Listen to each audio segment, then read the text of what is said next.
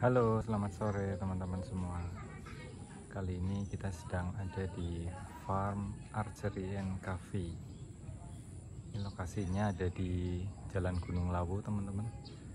Banjar Kembar, Purwokerto Utara.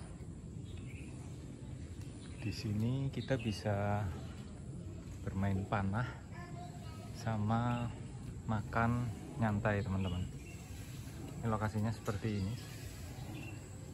Kali ini kita bareng sama Om Juve sama Tante Lia.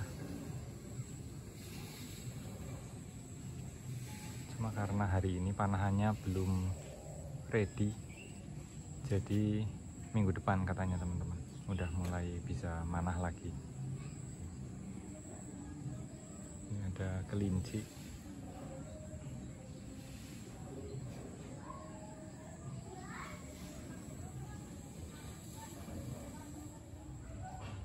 Kelincinya jumbo ini teman-teman.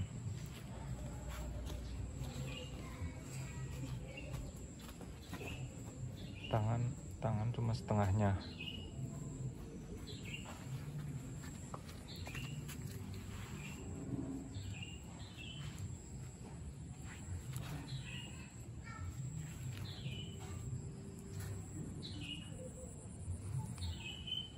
panahannya sasarannya di sana teman-teman.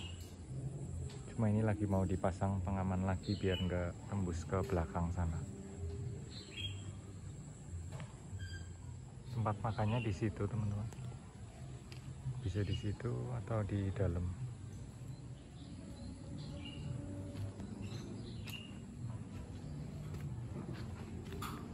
Tempatnya bersih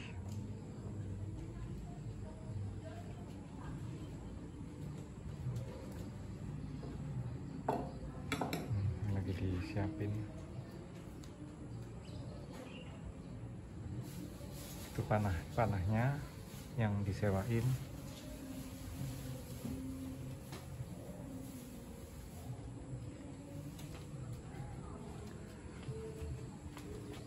ini menunya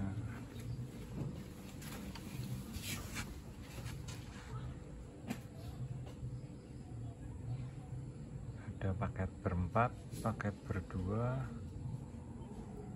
ada side dish.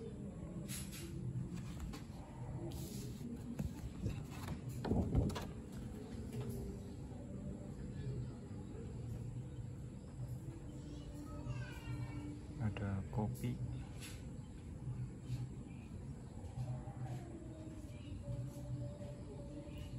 Untuk jam bukanya Selasa sampai Jumat jam 9 sampai jam 5 Sabtu Minggu setengah 10 sampai jam setengah 7 malam. Hari Senin libur. Nah ini ketemu yang punya teman-teman. Mas Fajar.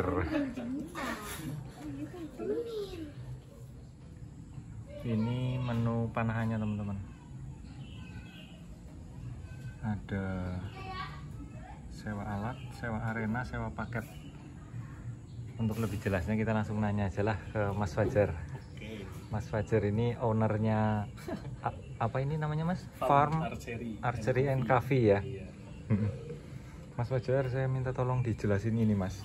Gimana nih kalau kita mau manah? Berarti ah, ah. Jadi kalau langsung aja teman-teman kalau mau datang panahan belum punya alat kita ada namanya sewa arena sama sewa alat itu Mm-mm. dua dua paket yang jadi dijadikan satu Mm-mm. karena teman-teman kan belum ya caranya gawa datang ke sini belum bawa apa-apa lah si kosongan Mm-mm. Nah, panah lapangan sewa arena itu kita ada panjang sekitar kalau yang udah ready ya 30 meter kali 30 12. meter ini berarti dari ujung tembok sana Iya. sampai ke sampai itu Tembok lagi ya? Iya. Itu 30 meter. oh iya Nah, iya itu iya. udah cukup lah untuk eh, latihan kejuaraan misalnya kayak itu kan minimal 30 meter. hmm. Nah, lebar sekitar 15 meter. Jadi ya memang udah buat tiga tiga target. Tiga ini tiga line. Tiga line udah Hmm. udah sangat cukup. Nah itu biayanya sangat murah teman-teman. Kalau misalnya mau ke sini ya 30.000 ribu. Karena sewa arena atau sewa lapangan sama sewa alat itu 30.000 ribu itu kalau yang pakai panahan nanti pakai yang standar bow atau standar nasional. Hmm. Kalau yang pakai horsebow lebih murah lagi 25.000. 20.000 Hmm. untuk 20.000 untuk sewa arena lapangan, 5.000-nya untuk yang horsebow. Hmm, untuk panahnya ya. Anaknya, usurnya. Jadi kita cuma bawa 25.000 Bawa 25 Udah bisa manah? Bisa panahan. selama Selama 2 jam. 2 jam. Iya, 2 jam. Sepuasnya ya mas. Sepuasnya. Pokoknya Dua 2 jam ya. Iya, 2 jam itu udah ini banget. Hmm. Cukup lah. Jadi nanti ini dikasih 5 ya. Lima- Panahnya 5. anak- Iya, 5 anak panah. Hmm. Dipinjemin 5 anak panah. Plus juga ada yang dampingi. Hmm. Jadi ya minimal kan kalau panahan kan ada ada ada beberapa set ya. Hmm. Ada beberapa set nanti kita bantu memasangkan, ada talinya dan sebagainya itu nanti kita Hmm. bisa bantu buat masangin sekalian sama teknik-teknik dasarnya lah gitu. Diajarin dari nol lah ya. Diajari dari nol cara masangin kayak gitu. Jadi pokoknya tinggal datang sini Iya. bawa 25.000 udah bisa nyoba panah ya. Iya. Itu kalau yang horsebow, tapi kalau yang buat standar yang orang umumnya pakai yang standar bow ya 30.000 lah nambah dikit. Hmm. Lagi. Siap, siap, siap, siap.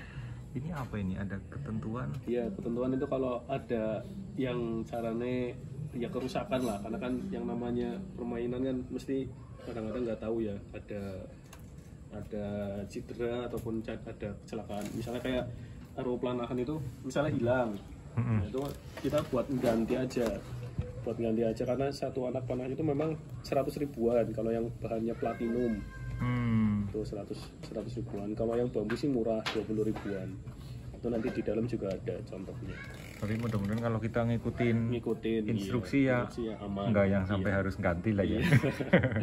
selama ini sih kejadian paling ba- baru yang bambu aja patah Bambu? karena ya karena nancep terus dia eh, apa namanya ngambilnya itu kurang kurang ngikuti kurang Nggak- nggak lurus gitu iya, lah ya mungkin kurang ya. ngikuti anu instruksi lah kayak gitu terus Oh. akhirnya jadi patah Terus ini apa ini mas? Sewa paket. Nah, sewa paket Family. kalau- iya, kalau family. Jadi kalau teman-teman ada enam orang maksimal ya, maksimal enam orang itu ya sama biayanya kurang lebih jatuhnya sekitar 20 ribuan lah. Urunan kalau enam orang itu. Mm-mm. Ya, 20 ribuan. Jadi nanti bayarnya ke Seri 120 ribu. Tapi kalau nggak sampai enam orang, misalnya berempat atau bertiga mau ngambil yang paket paket family ya nggak apa-apa. Jadi kan nanti bayarnya 120 ribu plus dapat beberapa bonus dari Seri coffee Oh. on target, milkshake, sama french fries. Iya iya iya iya. Nah ini juga ada paket yang buat anak sama dewasa itu kayak buat pertemuan rutin selama, selama 8 kali pertemuan.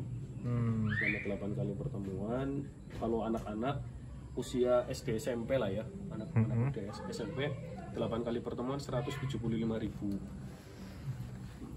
Ini yang 175 Diajarin ya? diajarin juga. Selama 8 kali pertemuan itu nanti ganti-gantian lah instrukturnya hmm, saya sama teman-teman farm RC terus ini ada 50% off apa ini mas? itu kalau udah ngikuti paket kalau misalnya Aha. anak udah 8 kali pertemuan Iya. terus kemudian pengen jadi member Heeh. pengen jadi member itu nanti dia selama selama main panahan di sini bayarnya 50% aja Semuanya? semuanya Yang tadinya 30.000 ribu jadi 15 ribu jadi 15.000 ribu. Iya. Oh gitu. Iya.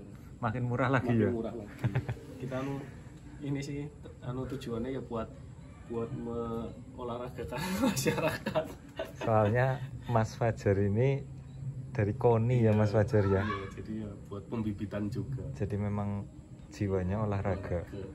sosiopreneur Tujuannya nggak semata-mata nyari uang ya. Iya. Buat pembibitan pembibitan anak-anak juga buat biar tertarik di panahan. Oke. Mas Fajar, boleh lihat panahnya nggak yang ini berarti ada dua jenis ya? Iya. Satu yang standar, bow, sama horsebow. satu horsebow ya. Iya. Coba kita lihat ya Mas Fajar ya. Iya. Oke.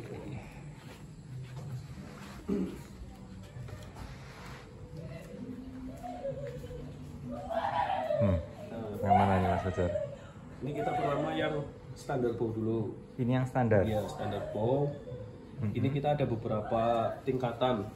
Tingkatannya itu dari LBS-nya LBS-nya itu kayak Beratnya berat, ya? berat berat tarikannya. Tarikannya ya. Ya ini mulai dari yang 28 lbs, Oh. 28 lbs, ini 24 lbs, Hmm. ini 20 lbs, ini buat yang 18 lbs, ini buat yang anak-anak Oh gitu. SD SMP. Iya. Ini standar buat Standar perlombaan. Iya. Ini kita pakainya eh, kalau misal buat perlombaan namanya bare bow. Belum ada belum ada stabilisernya, belum ada gitu. belum ada Hmm. itunya. Kalau ini nggak ada juga memang. Ini yang ada apa yang nggak ada? Itu buat pemberatok. Oh ini Ada. memberat. Pemberatok itu wake. Oh. Tapi masih dalam kategori bare bow.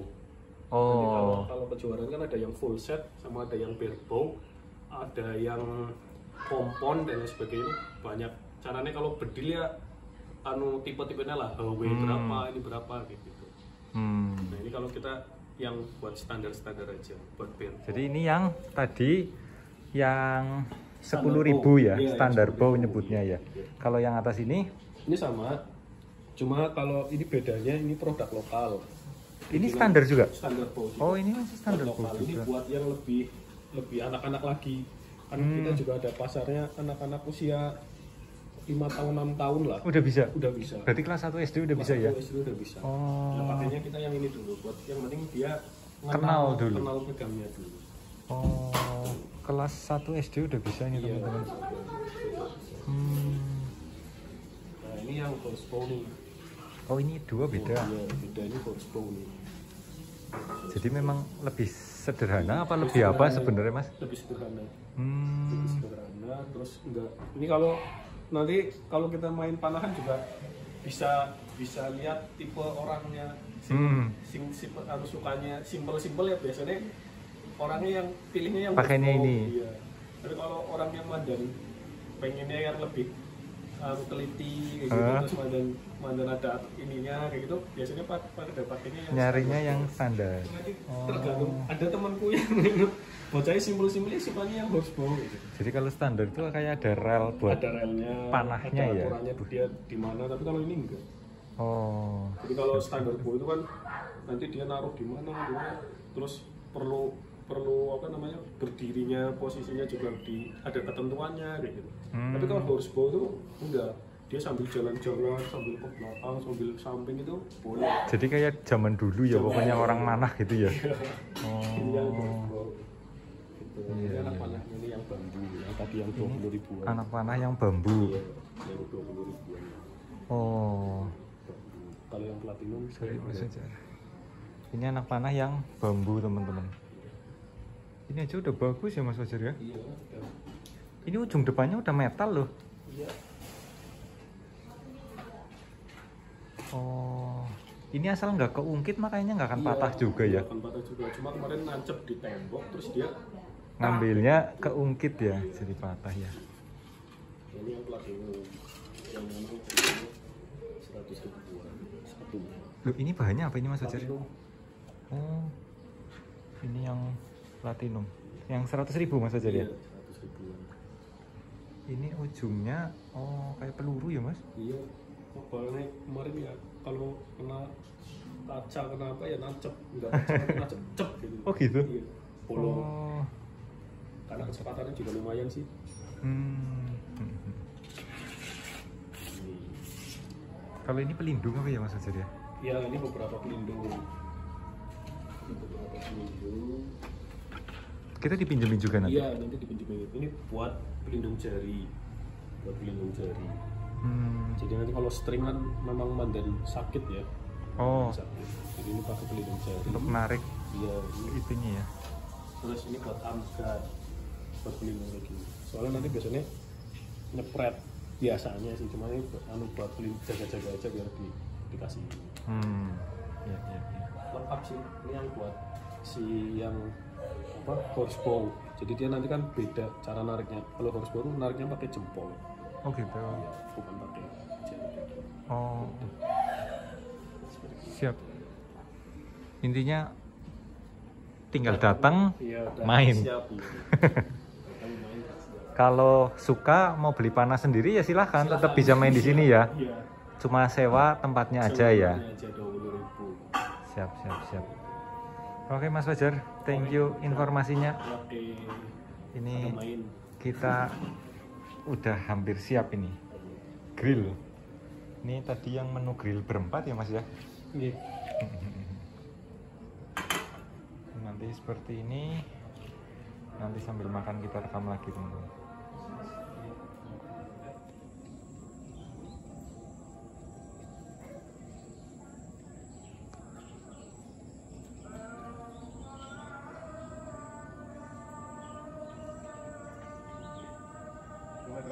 kelinci ini pada hilang orang ya mas? Nih kena jago mas? Orang mungkin metu lucu ya. Melayu melayu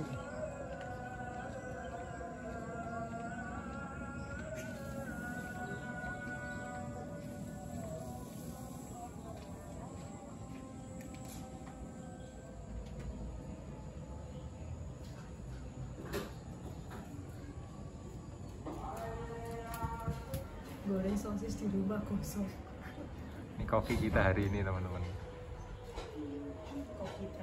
Pakat banget loh itu tangannya loh itu loh.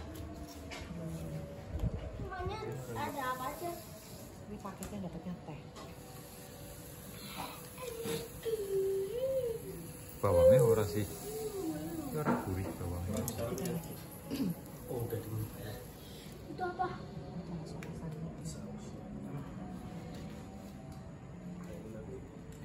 langsung pesannya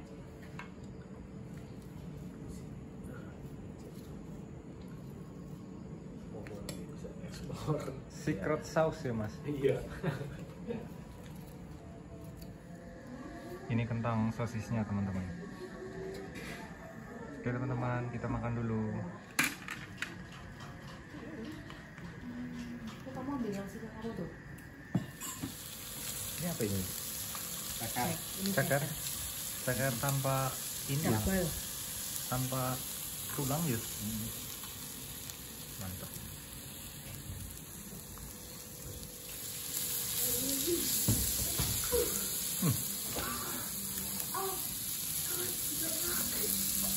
Pasti panas ya? Oke teman-teman, kita udah selesai makan. Makanannya enak. Lain kali bisa ke sini lagi teman-teman. Sampai jumpa di vlog berikutnya. Semoga semua sehat selalu.